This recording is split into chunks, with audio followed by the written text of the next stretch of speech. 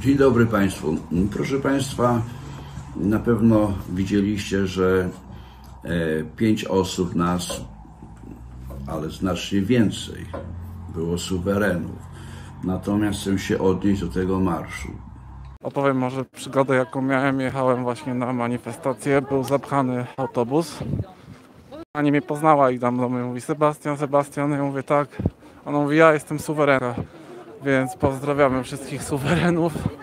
Może pani ogląda kierowczy. Odszedłem trochę, bo się odbił nasz e, wielka manifest, wielki marsz.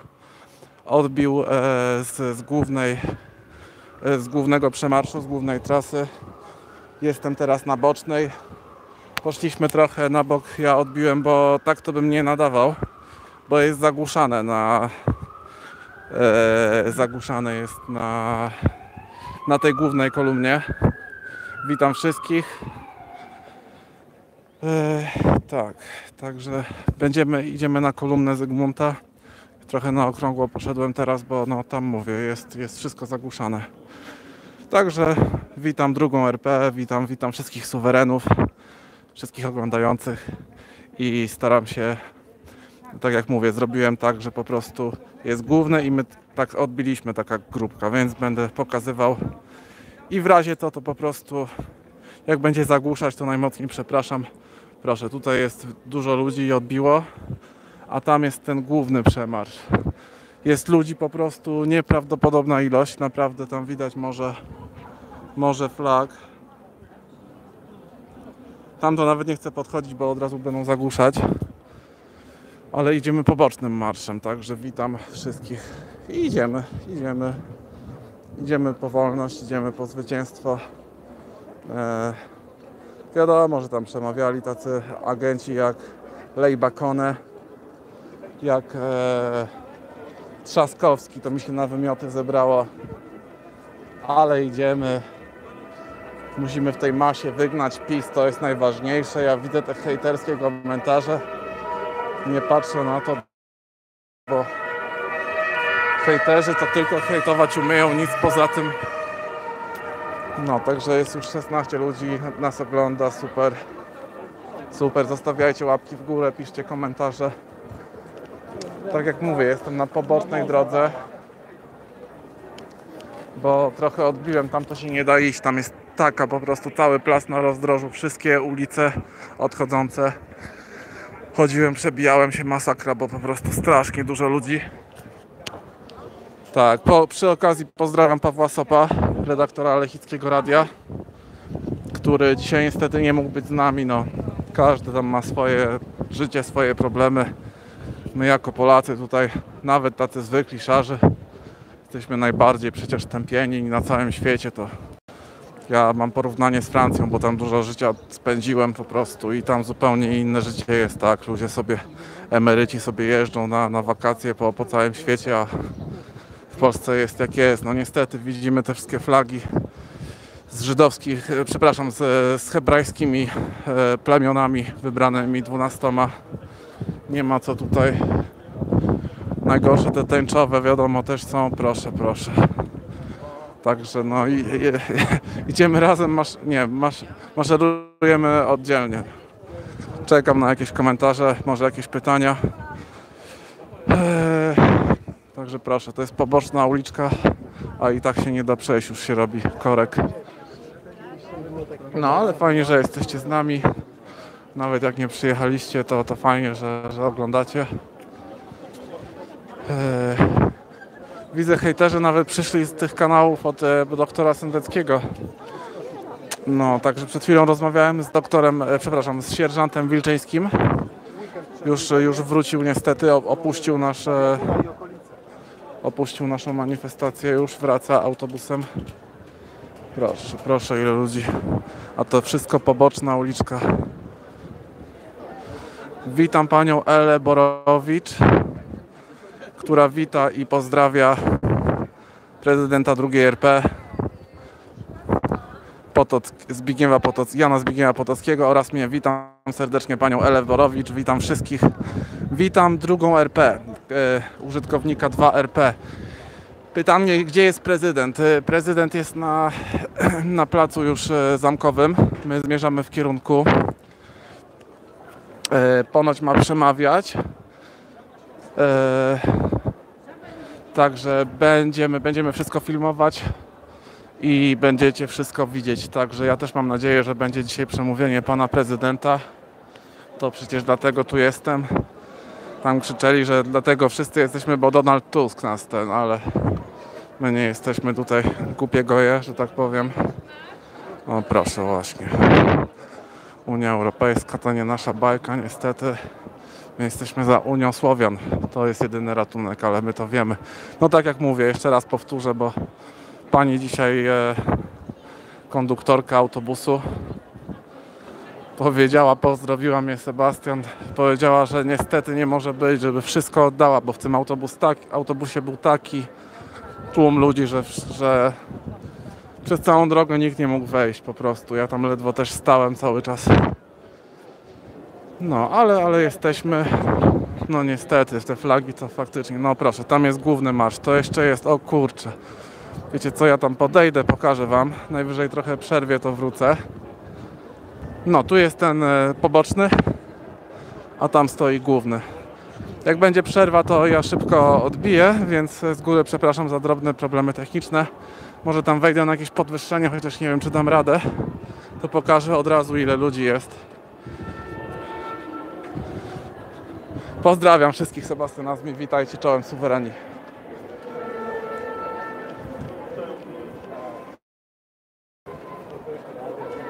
Tak, tutaj już główny, główny przemarsz, no proszę, proszę zobaczyć, jest, jest mnóstwo, mnóstwo ludzi. Ja to staram z góry i tak tego nie obejmę całości, bo to jest e, nie do, nie do objęcia, naprawdę to. Pewnie widzieliście z, z telewizji czy z innych kanałów. To jest nie do, nie do opisania. Na takim marszu to jeszcze nigdy nie byłem i wątpię, że kiedykolwiek będę. Krzyczą o październiku, że ma być w październiku e, ponowny marsz po wygraną. Mówią, że zwyciężą. No wiadomo, no najważniejsze, żeby pognać ten PiS, tak? Tutaj stoi, więc ja się tu nie wpycham. Mam nadzieję, że wszystko widzicie. Proszę, to, to no nie ma końca tam. Mogę zrobić trochę zbliżenia, ale to i tak wszystkiego nie obejmę. Proszę. Wracam, wracam na trasę, gdzie będę mógł przejść. Eee, pytanie pani Justyna M. Czy pan prezydent jest? Będzie przemawiał. Pani Justyno, pan prezydent, e, rozmawiałem, powiedział, że jest na placu zamkowym. Zbliżamy się, zbliżamy się powolutku na plac zamkowy i e, ma być przemówienie. Tam będą różne organizacje tak zwane pozarządowe, chociaż to wiadomo, że wszystko jest jedno wielkie szambo. E, tam co jakie postulaty, oczywiście o aborcji, oczywiście o klimacie zrównoważonym, więc e, trochę myślę sobie poczekamy, bo na początku to będą przemawiać ci systemowi, tak, ci e, NWO, że tak powiem. Także mam nadzieję pani Justyno odpowiedziałem. W razie co proszę zadawać pytanie. Witam Lechicką Radiowizję II Rzeczypospolitej Polskiej. Cieszę się, że jesteś z nami, Paweł. E, też jestem zaskoczony, że na tym koncie, a nie na Suwereni 2 RP dają głos. Przy okazji zachęcam wszystkich do subskrybowania nowego kanału Suwereni 2 RP dają głos. Tutaj jest e, Lechicka Radiowizja przez V. To jest również kanał pana Pawła Sopa. Witam serdecznie. Witam jeszcze raz pani Ewa Borowicz. e, Wita pana Pawła Sopa. Jak mówiłem, jestem na pobocznym pobocznej trasie. Na głównej jesteśmy blokowani. E, Nie ma żadnego zasięgu, nie można się z nikim połączyć. Bardzo ciężko jest. E, Pan Eugeniusz e, Stanisław Chojecki pyta się, czy nazwałem hejterem. Panie Eugeniuszu, ja tam widziałem takie, takie dosyć prześmiewcze. Prześmiewcze. Ja mam dobrą pamięć, więc widziałem, że tam się, naśmiewał pan właśnie z, z pana prezydenta. Tam używał pan czołem Wielkiej Sendecko-Potockiej Polsce, więc uważam, że to jest hejt po prostu. Jeśli się mylę, proszę, proszę mnie poprawić. Nie mam zamiaru na pewno nikogo obrażać, kto jest po naszej słusznej stronie e, w tym, e, w tym tłumie baranów. Przepraszam. 2RP. Panie Eugeniuszu, witamy pana serdecznie. Jesteśmy dla pana prezydenta Podolskiego, nie dla popisu. Tak jest. Nie jesteśmy dla żadnych tutaj systemowych. Jesteśmy po prostu e, legalnym państwem, przede wszystkim państwem, bo to co tutaj mówią, że to państwo, to wiadomo, że to jest przecież e, popis i kłamstwo. Panie Euge- Eugeniuszu, jeśli jest pan suwerenem, to najmocniej przepraszam. Tak jak mówię, to ja, jeśli tak, to czapka z głów naprawdę kłaniam się niziutko i pan Piotr Wielki pyta, czy jak ten protest nie poskutkuje, to co będzie? Bo nie sądzę, żeby PiS się tak łatwo poddał. Otóż odsyłam tutaj do na kanale e, Suwereni 2 RP dają głos. Jest wywiad wczoraj z panem prezydentem. Pan prezydent odpowiada, co się będzie działo, że jeśli przegrają wybory, to będzie, będą fałszować je. Ja postaram się ściągnąć dysku Google, więc dzisiaj pobiorę i wstawię na tym kanale również wczorajszy wywiad z panem prezydentem. No ale mam nadzieję, że jeszcze dzisiaj usłyszymy wszyscy na, na wielkim przemówieniu. To będzie coś, bo tutaj jest, no sami proszę zobaczyć, widzicie ile jest tutaj ludzi. To, to się w głowę nie mieści, a to jest, przypominam, że to jest sam początek, a to nie ma końca, naprawdę. To ciężko mi opisać słowami, co tu się dzieje. Pani Ela Borowicz, e, Sebastian, dziękuję, niestety musimy być w pracy. Jasne, rozumiem. Pani właśnie z autobusu też mówiła, że, że chciałaby bardzo być z nami, ale nie może. No wiadomo, że nie ma tak zawsze lekko. Ja rozumiem. Pozdrawiam serdecznie z Warszawy panią Elę Borowicz i pani bliskich, jak również wszystkich suwerenów oglądających. Jest już nas 18 osób. Super. Suweren to ja. Super. Bardzo, bardzo pozdrawiam Suwe, kanał Suweren to ja. Ja również przyglądam się. Przyglądam się. Ktoś mi macha chyba. Nie wiem, czy to mi nieważne. E, Pozdrawiam również Suweren to ja, bo faktycznie ja również przyglądałem się Pana kanałowi, Pana, pana wypowiedziom.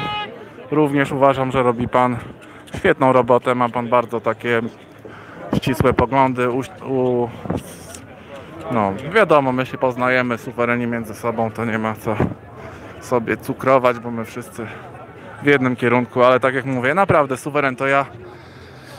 Yy, to, to dobry kanał, polecam również e, Lechicką Radiowizję przez V. Ciężko się znaleźć, ale my się zawsze znajdziemy, zawsze się odnajdziemy w takich właśnie sytuacjach jak dzisiejszy, dzisiejszy wielki marsz ogólnopolski. E, Klikzol, czy będzie wystąpienie pana prezydenta? E, Wszystko na to wskazuje. Powinno być wystąpienie na Zamku Królewskim. Wiem, że pan prezydent już tam jest, więc e, idziemy powolutku. Dzielnie przed siebie, także mam nadzieję wszyscy usłyszymy. Pan Eugeniusz Stanisław Chojecki, poprawiam, to nie jest hejt. Skoro doszło do zawiązania sojuszu pomiędzy doktorem Sendeckim a prezydentem Potockim, to czemu nie można się przywitać w ten sposób? 2RP. E, No trochę, szczerze mówiąc, niepoważne takie, że czołem Sendecko-Potockiej, no to jednak wie pan, panie Eugeniuszu, tu trzeba się jasno określić, albo jest się suwerenem, albo jest się w stronnictwie narodowym, takie jest moje zdanie. Oczywiście współpraca, oczywiście szacunek jak najbardziej, ale proszę nie zapominać tych, tych słów, które padły. Ja też nie chcę tutaj nic podburzać, ale takie są fakty. Pan, Sen, pan Eugeniusz Sendecki, pan doktor Sendecki nie odsyła nikogo do nas. I my, o tutaj sobie złapię trochę wyżej wejdę. Przepraszam. Ale będę miał teraz widok dopiero, no proszę. Tak.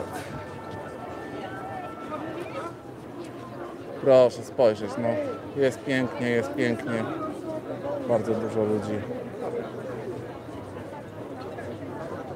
To się tam ciągnie, to naprawdę nie ma końca. Jesteśmy, przypominam, na samym początku. A to idzie, nie no, nie no, po prostu. Może tak bez komentarza, bo to wszyscy, wszyscy widzimy. Pan Mietek, pozdrawiam. Brawo, suwereni drugiej RP, tak jest. Kwestia czasu, wszyscy będą tak z nami, naprawdę. Musimy tylko być wytrwali. Proszę, proszę, ile ludzi. No cała Polska wyszła i bardzo słusznie, bardzo słusznie. Nie możemy przecież e, być niewolnikami PiSu, tak? Nie możemy po prostu pozwalać, żeby Kaczyński dalej nami po prostu robił z nami co chciał. Tutaj jest potrzebne społeczne zaangażowanie, społeczne niezadowolenie. No, rad, raduje się serce na taki widok, naprawdę to, to jest coś pięknego, tak, tak. Tu będzie chyba ciężko przejść faktycznie. Mm, może przejdziemy odwrotnie, tak, wrócimy się, ale proszę. To jest sam początek, a się ciągnie, ciągnie bez końca. Dobra, idziemy, wracamy troszeczkę. Także zapraszam do bycia z nami na dzisiejszym live. Pozdrawiam wszystkich, co oglądają nas teraz, oglądają nas później. Jesteśmy wszyscy razem, jak na suwerenów przystało.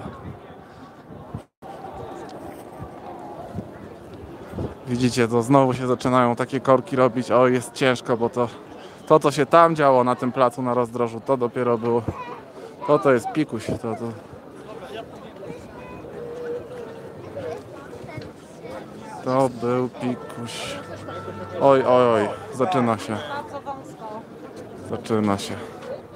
Wiecie co, ja może zrobię tak w razie co, że e, żeby tak nie chodzić przez, przez, bo to jeszcze godzinkę myślę, spokojnie będziemy szli. Ja najwyżej zakończę, e, żeby jeszcze, jeszcze załapać się na przemówienia Ale ty, ty tutaj na placu e, zamkowym. trzymajcie się za rogi. Ja trzymam Agę za pasem. O, pan Eugeniusz, super, super, jest sędy, sędeczczykiem. Okej, to w takim razie już wszystko rozumiem. Proszę wybaczyć, panie Eugeniuszu, teraz już wszystko jasne, że suwerenom bardzo mocno pan kibicuje. I o to chodzi, o to chodzi. Chwali się właśnie, że, że Polacy w różnych organizacjach, w różnych e, różne mają upodobania, ale jak coś, to, to potrafimy rozróżnić prawdę od kłamstwa. Pan Sendecki oczywiście ma wiele wiedzy, prowadzi, prowadzi swój kanał należycie, to trzeba przyznać. Jest to platforma taka bardzo e, wyrazista, także my tutaj nie, nikt nie chce się dzielić, na pewno musimy iść razem ci, co mogą się połączyć, a nie tylko kłócić. Ja byłem od początku przeciwko kłótni właśnie z kamratami rok temu. W tym roku idziemy wszyscy na Marsz Dmowski na zamek 24. Przypominam, to jest e, obowiązek i najważniejsza rzecz dla każdego Polaka, który, który po prostu ma Polskę na pierwszym miejscu, łącznie z Bogiem i z, e, e, z honorem, tak? Także witam Wiedźmin. Jakbym obrócił telefon do poziomu, by, był wdzięczny. Faktycznie, Wiedźmin, masz rację. Dzięki za uwagę. Ja następnym razem po prostu przerwę teraz tą audycję i zrobię, jak już będziemy pod Zamkiem Królewskim, już niedługo. I wtedy będzie w poziomie. Dziękuję za uwagę. Wiedźmin. E, Piotr Wielki pisze, że chciał, chciał być na proteście, ale niestety nie stać mnie na przyjazd, ale całym sercem jestem z drugą RP. Tak jest, idziemy, idziemy po wygraną, idziemy po suwerenność. E, tak jest, Piotr Wielki. Jesteś naprawdę wielki. Nic się nie stało. Będzie okazja 24. Wtedy już obecność obowiązkowa, nie ma żadnych wymówek. Dzisiaj to tak, kto może, a 24 każdy musi. Także ja jeszcze raz powiem, bądźcie na bieżąco. Zaraz zrobię zapowiedź kolejnej transmisji. Będzie już, e, będą już przemówienia. Miejmy wszyscy nadzieję pana prezydenta Jana Zbigniewa Potockiego, legalnego, konstytucyjnego, tytularnego prezydenta, który miał wspomnieć dzisiaj o dekretach e, do tłumu. Miejmy nadzieję, że wystąpi i wszystko wysłuchamy. Także może póki co na tyle. Ja się z Wami żegnam serdecznie i mówię Wam do usłyszenia, do zobaczenia. Zadajmy na to jakieś pół godzinki, może do godzinki, aż dojdziemy przez Nowy Świat. Teraz jesteśmy na Placu Trzech Krzyży. Będzie tra- transmisja w, po- e, w poziomie i po prostu na ten czas żegnam, pozdrawiam. E, Pozdrawiam wszystkich bardzo serdecznie. Jasne, druga RP, jesteśmy razem, jesteśmy razem i do zobaczenia za te pół godzinki. Odsyłam, zaraz zrobię zapowiedź live'a. Więc po prostu się zobaczymy pod pałacem, e, przepraszam, pod kolumną Zygmunta. Pozdrawiam wszystkich, do zobaczenia. czołem Wielkiej II Rzeczypospolitej Polskiej na pochybel po PiSowi, wszystkim masonom, wszystkim rządom okupacyjnym. My jesteśmy wolnymi ludźmi, żywymi ludźmi i przede wszystkim świadomymi ludźmi, bo dzisiaj każdy mówi, że jest świadomy. Pan Eugeniusz Chojecki pisze, że po tej manifestacji najbardziej zyskała Konfederacja.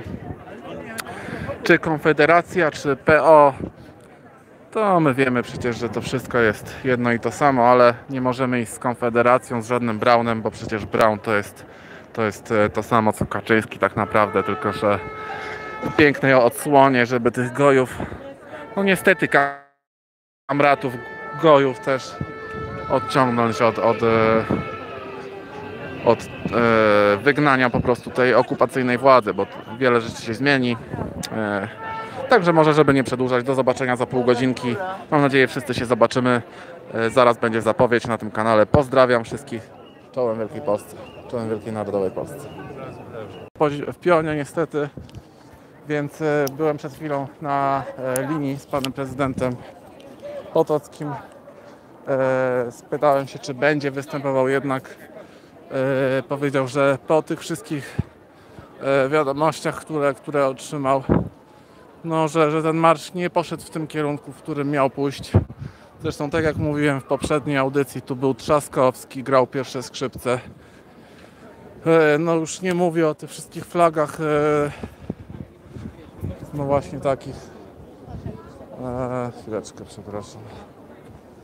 Wszędzie tutaj właśnie strajk kobiet na przykład i jakieś takie brzydkie naprawdę to nie ma co, więc ja również nie dziwię się panu prezydentowi, że dzisiaj po prostu nie będzie nie będzie występował, bo to jest naprawdę przepraszam, przepraszam, no to jest naprawdę to jak powiedział pan prezydent, to jest agitacja i dzisiaj nie będzie zabierał głosu. E, więc, więc po prostu tak wyszło niestety. Ja również e, myślałem, że to pójdzie w innym kierunku, ale, ale jest naprawdę zawiedziony jestem tym marszem. No jest e, olbrzymia ludzi jak zwykle. Tyle, że wywiedzionych jak zwykle na manowce. Gdzie oni idą? Oni jeszcze dalej idą? No nieważne, mniejsza. E, No pójdziemy sobie do parku, najwyżej pogadamy chwilę, skoro jesteśmy już mamy okazję sobie porozmawiać, to zachęcam do zadawania pytań lub e, tak, witam drugą RP, witam dwa RP. E, nie będziemy dużo przedłużać, ja nie mam ze sobą drugiego telefonu. Tak, to telefon. E, no i co tu dużo mówić, tak? Wyszło jak wyszło, jest naprawdę okropny ten marsz. E, to jest tylko wywiedzenie ludzi, żeby sobie pokrzyczeli, żeby po prostu pokazać im, że jak nie, jak nie PiS, to tylko Trzaskowski, to tylko, tylko Donald Tusk. A my przecież wiemy, co to jest, tak? Że to są te same, to jest układ magdaleński, że raz my, raz wy tak? Więc całe szczęście tak naprawdę, że pan prezydent nie będzie tutaj brał udziału, bo to jest wywiedzenie ludzi po prostu, wyprowadzenie w maliny, tak? E, Seba, zróbcie to spotkanie w parku na żywo. To znaczy pan prezydent powiedział, że nie ma, nie chce mieć nic wspólnego z tym marszem i po prostu opuścił, opuścił to przedsięwzięcie i w sumie nie ma się mu co dziwić tak naprawdę. E, tak. Więc ja myślę, że jak tylko będzie następna okazja, to zrobimy e, wywiad na żywo. Ale to nie jeden jeszcze, także naprawdę będzie mnóstwo, będzie mnóstwo okazji, naprawdę to nie ma co się niecierpliwić, bo wyszło jak wyszło. Ja naprawdę też mi wstyd, tak naprawdę, że tu przyszedłem. No ale nie wiedziałem, tak? Liczyliśmy, że pan prezydent będzie dzisiaj występował pod kolumną. No ale nic się nie stało, tak? Warto było dla, samej, dla samego doświadczenia wybrać się, zobaczyć, co tu się odwala, że tak powiem, brzydko. Aha, tu nie wrócę, bo tu tramwaje są zablokowane, to jakoś inaczej. Dobra, to sobie przejdę na plac bankowy.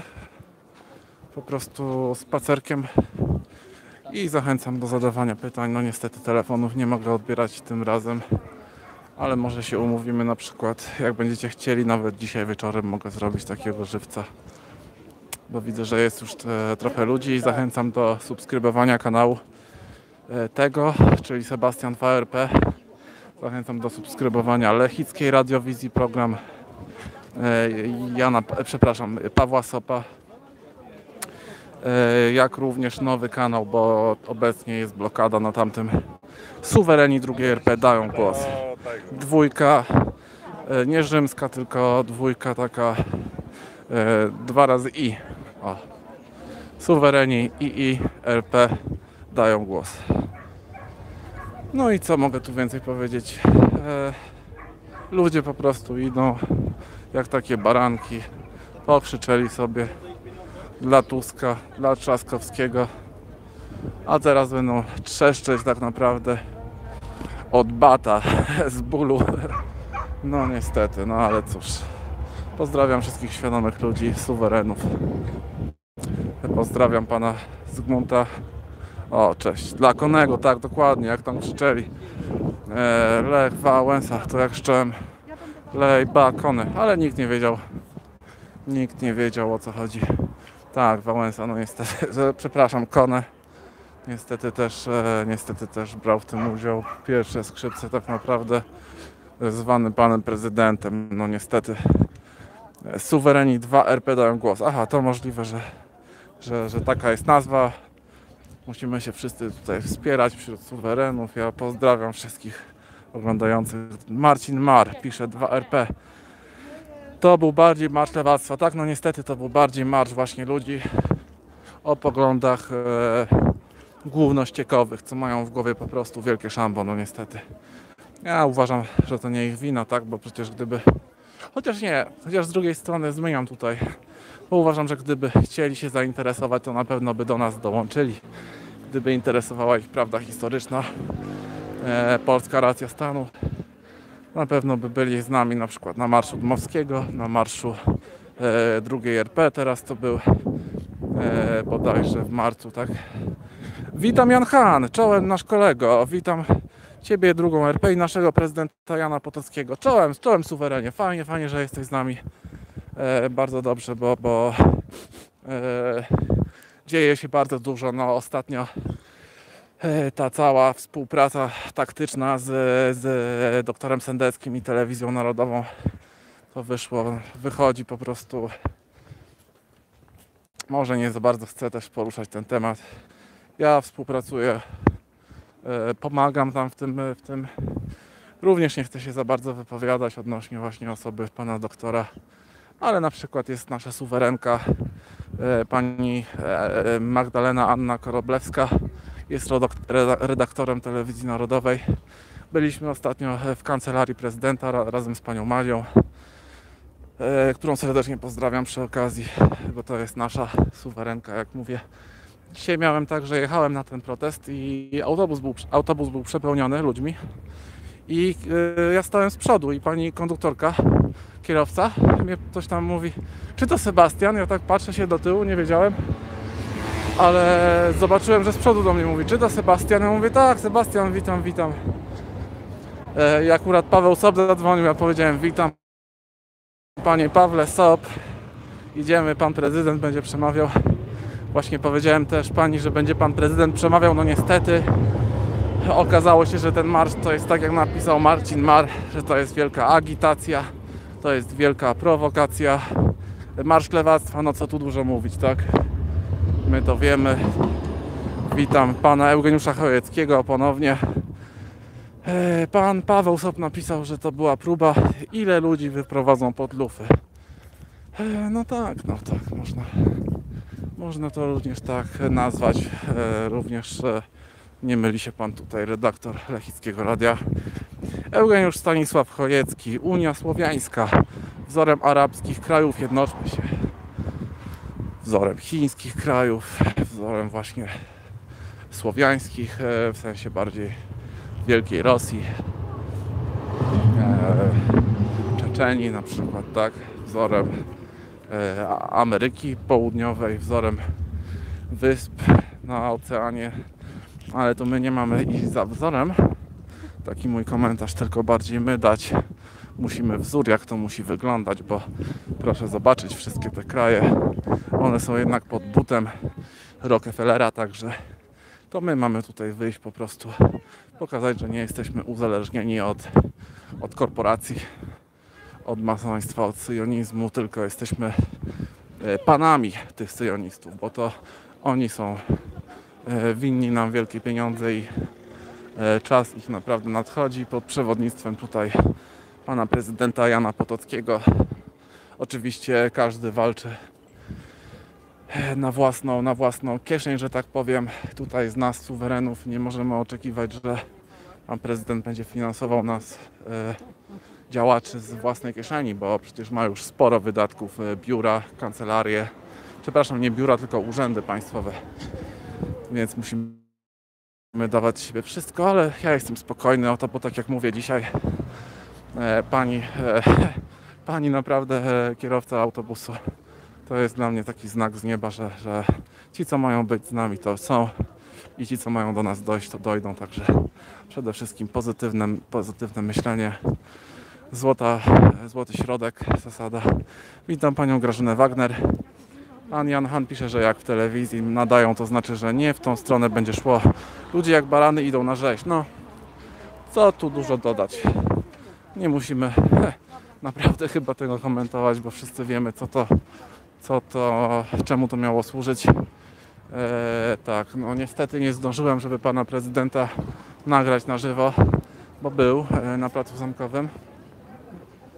I co prawda miał przemawiać, ale jak tylko zobaczył, że, że to jest po prostu wystawienie ludzi pod lufy, e, czy też agitacja. E, nie chodzi tutaj tylko o Trzaskowskiego, o tego Dudę. To już by się trzeba spytać pana prezydenta, E, tak, także no co mogę jeszcze powiedzieć? Myślę, że, że niedługo będziemy słyszeć z ust pana prezydenta, bo to jest jednak nasz autorytet i nasz e, głos, który wszyscy powinniśmy brać na pierwszym miejscu dla każdego Polaka. E, pozdrawiam Piotr Fox. Witam panie Piotrze i witam nas wszystkich suwerenów. My również witamy pana Piotra Fox. Cieszę się, że, że tyle ludzi już jest. I co, może po prostu umówmy się na, na przyszłą audycję, a nawet dzisiaj wieczorkiem może zrobię. Fajnie, że jesteście, cieszę się bardzo, serdecznie Was pozdrawiam. Yy, no co, ja bym najchętniej zapytał Pana Prezydenta, żeby się wypowiedział. Yy, więc Paweł, jak, jak to słuchasz, to ja może teraz po prostu zrobię dzisiaj wieczorem tą audycję lub jak tylko wrócę do domu, żeby, żeby było można usłyszeć od Pana Prezydenta jeśli będzie chciał oczywiście zabrać głos, e, żebyśmy mieli wszyscy ogląd. I w perspektywie właśnie czerwca, o którym mówił, że w czerwcu będzie się wiele działo, e, zapytam, jeśli oczywiście będzie miał taką chęć, bo wiadomo, jest bardzo przepracowany. W zeszłym miesiącu zrobił 6000 km. Tymczasem żegnam się z Wami, wchodzę do metra. E, czołem Wielkiej Narodowej Rzeczypospolitej Polskiej. Pozdrawiam, dziękuję. No jestem rozczarowany, ale gratuluję, że było pół miliona ludzi, może i więcej. To trudno jest określić, ale mi się wydaje, że jednak było więcej. Można zrobić? Można zrobić. Natomiast co do wystąpienia pana Wałęsy, Donalda Tuska, a w szczególności pana Czarzastego, który mówi, że zmieni się opieka nad emerytami i rencistami. Tak, na pewno, panie Czarzasty, pan to zmieni, tak jak to już pan pokazał w Sejmie, gdzie pan kazał na siłę szczepić właśnie starców i dzieci. Pan zapomniałeś?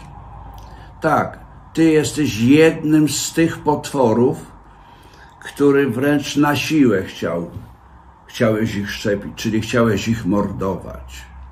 Panie Czarzasty, nie tędy droga dla pana. Dla Pana droga jest zamknięta. Ale to tyle, Panie Czarzasty. Na pewno się spotkamy i to niebawem. Ja Panu to przetłumaczę w inny sposób jeszcze, niewątpliwie. To ma Pan zagwarantowane w stu procentach. Publicznie oczywiście, publicznie, żeby ludzie widzieli, co myślę o Panu. Co do Pana Tuska, ale zanim przejdziemy do Tuska, to chcę powiedzieć o synu Justyny. Mam na myśli pana Trzaskowskiego.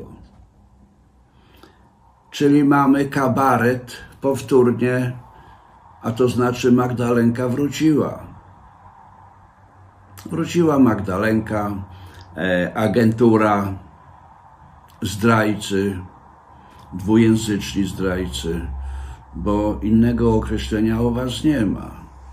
I co wy myślicie, że z powrotem ludzie wam zaufają? Żebyście ich teraz dorżnęli? Całkowicie wyrżnęli? Czarzasty wielki orędownik uchodźców ukraińskich. Jedź na Ukrainę, na wojnę, zabierz tam swoje towarzystwo jako wicemarszałek Sejmu. Ty nie, ja bym ciebie nie, zatru, nie zatrudnił u siebie jako psiarczyka, bo by, bałbym się, że zjesz mi psy. Takie jest zdanie. No i niestety e, wygląda to bardzo źle. A jak wiecie Państwo, to co mówię, wszystko jest realne, to wszystko się spełnia, to wszystko jest realizowane. E, Powiedziałem, chyba na początku maja, może nawet i w kwietniu, że czerwiec będzie miesiącem przełomowym. No tak, ale ja myślę, że społeczeństwo dojrzało na tyle już, aby nie głosować na żadną z tych organizacji. Na żadną. Czy to PiS, czy to Konfederacja, tam to już całkowicie bagno, czy PSL, to już w ogóle o tym nie ma co nawet mówić, bo to już nie jest żadna partia. Tam Waldemar Pawlak y, jest człowiekiem bardzo podejrzanym. To się bardzo źle skończy oczywiście dla niego, bo ten czas zbliża się i niestety wszyscy muszą ponieść konsekwencje tego, do czego doprowadzili Polskę. Nie tylko PiS. Oczywiście PiS na dzień dzisiejszy nagrzebał sobie bardzo, ale to bardzo. E, ale cóż, tak się dzieje. Dlaczego? Ano dlatego, że w Polsce nie było nigdy prawdziwego, prawdziwego rządu polskiego. Wypowiedź pana Wałęsy, żenada, to było żenujące. Podkreślił dokładnie, kim był. To dotyczyła ta wypowiedź tylko i wyłącznie jego samego. Bo o Tusku to wiecie doskonale, co jest jak jest. Jeżeli chodzi o te telewizje ściekowe, właściwie to szambo telewizyjne było. Czy to TVN, czy to Polsat, czy to Jedynka, czy to TVP Info. Proszę Państwa, oni widzieli nas, widzieli mnie, to złapali powietrze i uciekali, uciekali. No ale co, czego można wymagać od kreatur? To są kreatorzy kreatury. Innego określenia nie ma o nich. Ale to nam nie przeszkadza. My robimy swoje. E, To, co już powiedziałem kiedyś, powtórzę jeszcze raz dla hejterów. Wy już wiecie, że dowody suwerena 2RP są legalne, zalegalizowane. Wiecie o tym, że PSL, ci, którzy nie chcą mieć od 1 września, mogą wystąpić o pozbycie się tego, ale nie wiecie jeszcze jednego, że jest taki, taki przepis, mianowicie, e, który mówi, że wszystkie dokumenty, tak zwane wrażliwe, e, mogą być zmienione na rzeczywiste i uczciwe. To, co my robimy. Tak, my robimy to, co mamy robić zgodnie z Konstytucją. A proszę pamiętać, że Konstytucja 23 kwietnia 1935 roku jest ważna i aktywna i działa w trzeciej RP. Wiem, że wiele osób boi się jej, ale dlaczego? Głównie się boją potomkowie i wnukowie tych zbrodniarzy, którzy likwidowali Polskę, którzy rozgrabili majątek narodu polskiego. Oni się tego najbardziej obawiają, że poniosą konsekwencje. Zgadza się. Ale idźmy dalej. czy rzeczywiście Polacy stracą majątki. Czy to będzie Platforma, czy będzie PiS? Tak. Stracą majątki, bo te majątki zostały zastawione. Tyle razy do Was mówię i to do Was nie dociera. Natomiast coraz bardziej się zadłużamy. Kolejne wyroki z Unii Europejskiej nakładane na Polskę, gigantyczne miliardy e, w złotówkach przeliczeniu. Są miliardy, dziesiątki miliardów, może i setki miliardów. Dodatkowe teraz kary będą nałożone. Czy dobrze? Naród na to chyba zasłużył, drodzy Państwo, ale nie przejmujcie się. Jeżeli naród polski, zwłaszcza młodzież, i zobaczcie, jak oni apelują do młodzieży, jak mówią te słowa, które mówił Potocki od paru lat. Do tej ciemnej hołoty dotarło tych polityków, pseudopolityków, że Potocki ma rację, bo proszę mi wierzyć, ja nie jestem jasnowidzem. Na pewno nie. Tylko jestem realnym, rzeczywistym politykiem, znający politykę Polski od, zer, od początku po dzień dzisiejszy. Wszystkie kulisy, jakie były, również jestem i o tym wspominam bardzo często. Jeżeli nie wybierzecie drugiej Rzeczypospolitej Polskiej w wyborach, to, nie, to niestety, ale możecie się pakować z Polski. Już są miejsca dla Was przygotowywane do, na Ukrainie do odgruzowywania. Jak to jest?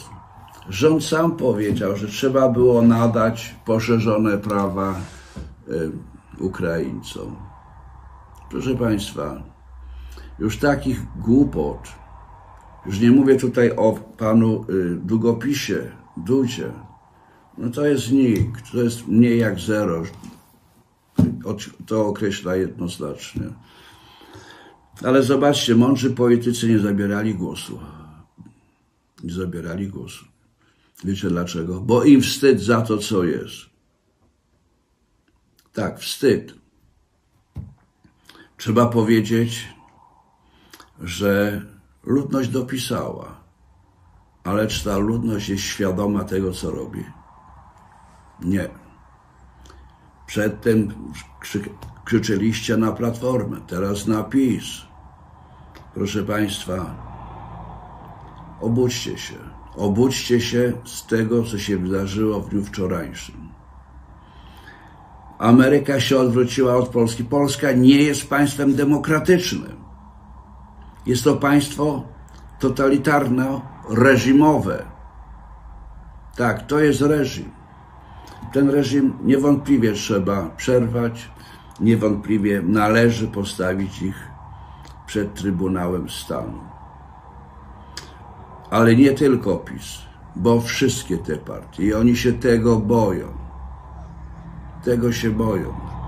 Natomiast druga RP nie musi się niczego bać, niczego obawiać.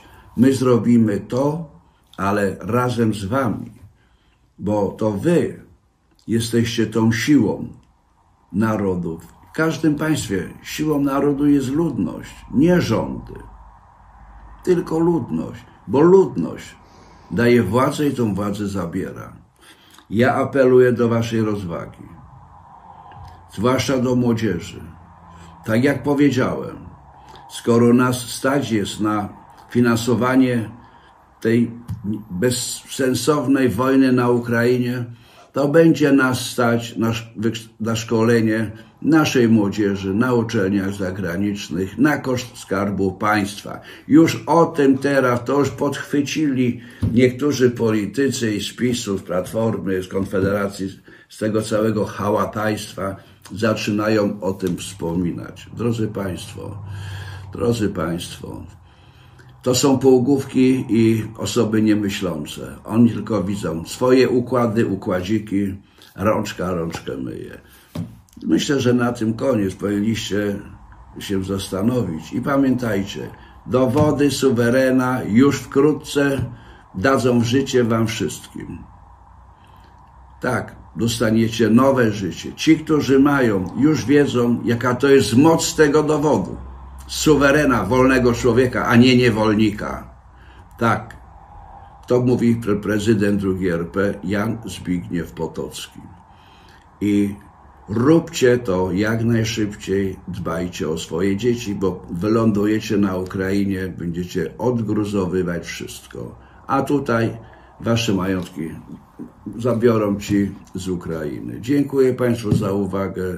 Miłego dnia i cóż, do usłyszenia, do zobaczenia. Dziękuję.